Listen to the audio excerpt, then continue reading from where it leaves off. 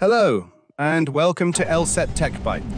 Today, we have an exciting tutorial for you where we'll be learning how to create a simple text editor using HTML, CSS, and JavaScript. Whether you're a beginner or an experienced developer, this tutorial will help you understand the fundamentals of building interactive web applications. Let's dive straight into the code. Here we have our HTML structure. We start with the doctype HTML declaration, which specifies the document type and version of HTML we're using. In the head section, we have meta tags for defining the viewport and the initial scale for mobile devices. This ensures our text editor looks good and is responsive across different screen sizes. Moving on to the body section, we have a container div to hold our text editor.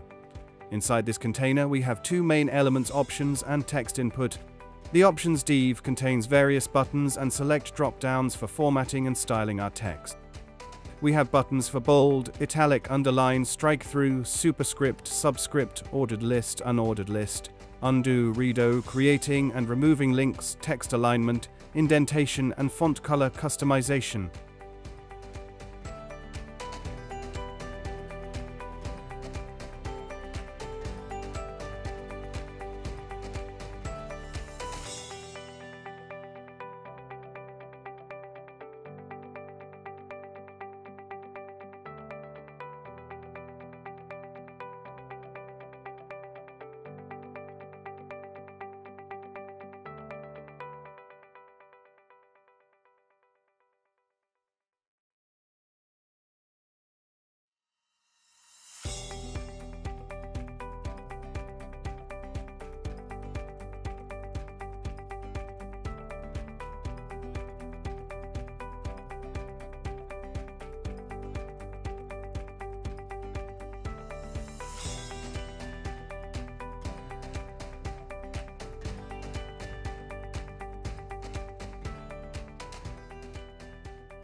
Next, we have the text input div with the attribute content editable true.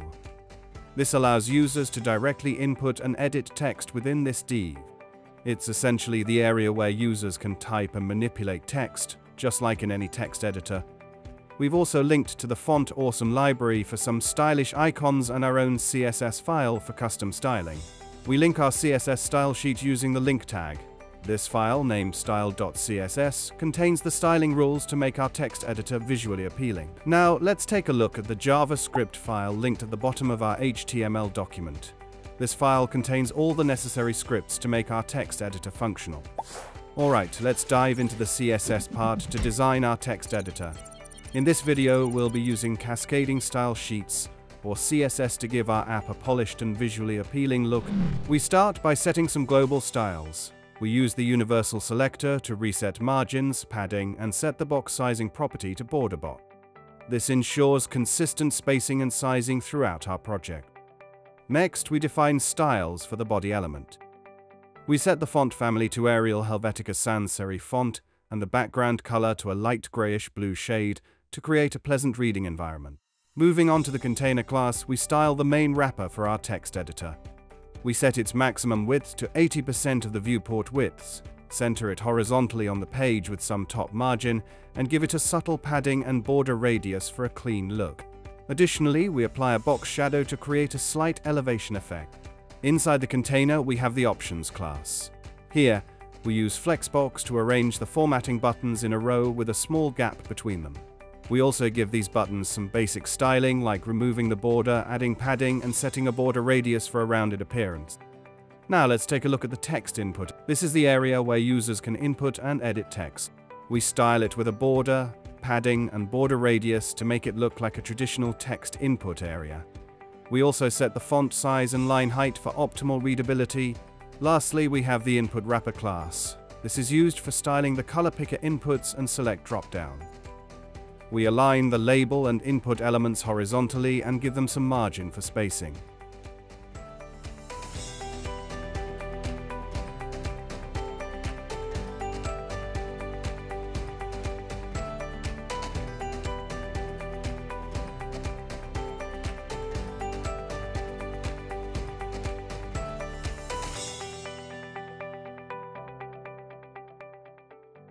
The color picker input is styled to have a circular shape and the select drop-downs have a custom arrow using the pseudo element.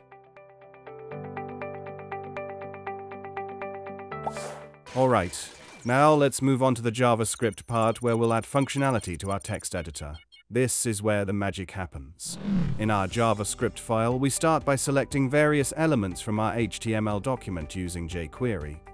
These elements include the formatting buttons, select drop-downs, the text input area, and more.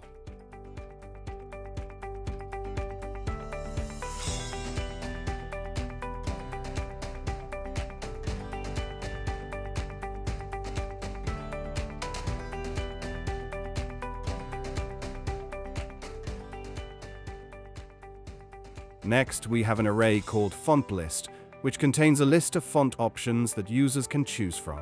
These fonts will be populated in the Font Select dropdown. Moving on to the Initializer function, this is where we initialize our text editor by setting up various options and functionalities. We highlight certain buttons to indicate their default state, populate the Font Select dropdown with options, and set the default font size.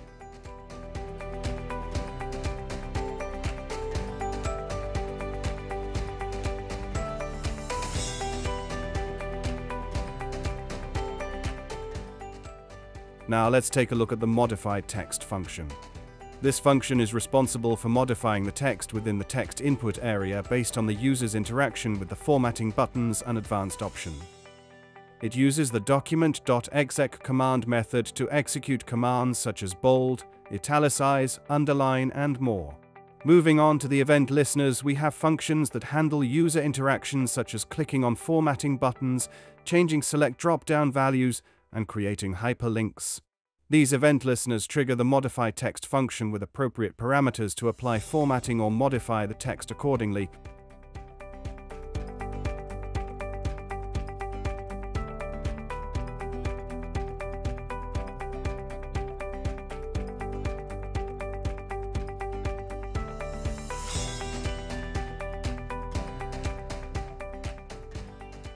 Lastly, we have the highlighter and highlighter remover functions.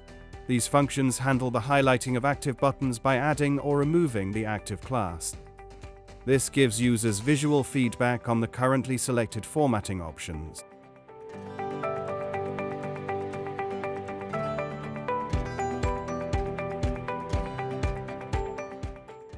And there you have it. That's the JavaScript code for our text editor. With these functionalities in place, users can now format and style their text with ease.